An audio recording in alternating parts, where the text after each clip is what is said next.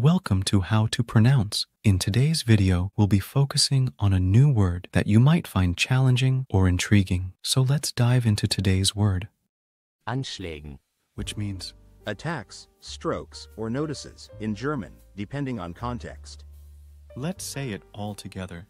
Anschlägen, Anschlägen, Anschlägen, One more time.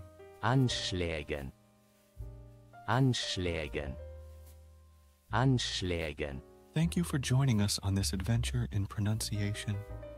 Remember, language is a journey, not a destination.